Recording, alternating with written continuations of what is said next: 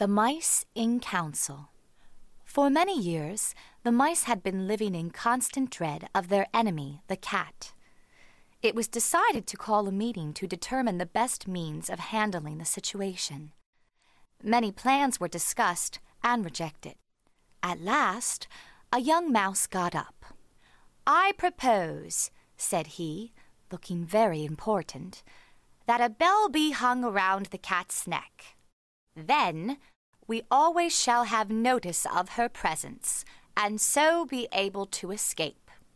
The young mouse sat down amidst tremendous applause. The suggestion was put into a motion and passed almost unanimously.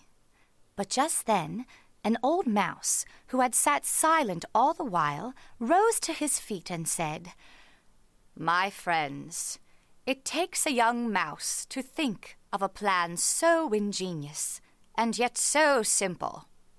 With a bell about the cat's neck to warn us, we shall all be safe. I have but one brief question to put to the supporters of this plan. Which one of you is going to bell the cat? The moral of the story is it is one thing to propose, another to execute.